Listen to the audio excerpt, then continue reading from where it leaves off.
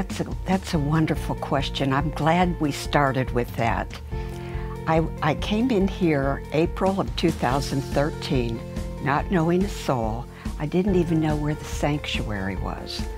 And I parked and I kind of followed people going in, sat down, and when they said, stand up and greet the people around you, the people behind me said, Are you new? And I said, Yes. And they said, We have a Sunday school class that meets in the narthex. After the service, we'd love to have you join us. That was step number one. We were uh, young. Jen and I had moved to, back to Naples. My wife's from here originally. And we are just looking to connect. And so we found a couple of other young families. And I think at that time, none of us had children. And so we just got together and kind of got a little group going. It was good. It was just to find a time together that we met at church after, um, after a service. I would encourage anyone to come to a group, a small group, because it would further their walk with the Lord and grow in their spiritual life. The, the class that uh, gathered for Sunday school um, was mostly uh, young marrieds with young children, uh, but there were a few old timers uh, allowed to participate, uh, me being one of them.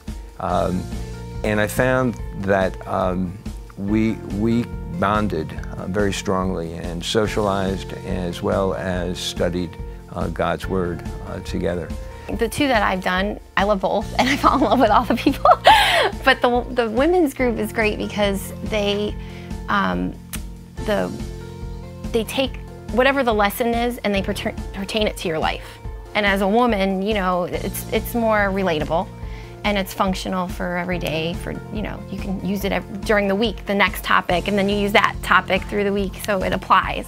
If someone's on the fence about joining a group, I would think about Corinthians 10:23 and it's about believers um, making a choice, having the ability to make a choice. And if you if you have that ability, then why not choose to grow in your faith? I pray that people listen to the messages, the subtle and sometimes overt messages from God, and get involved. Um, it's a way uh, I've developed friendships, uh, deep friendships and commitments, and uh, it's also a way that I have grown my life spiritually depending on what you're looking for, what you're interested in, what speaks to you. You can either do, you know, something lighter or something that has homework that you're committed to. In the end, when we spoke, guess what we did? We applied it to our lives. So either way, you're getting something really good out of it. It's the best. It's the best.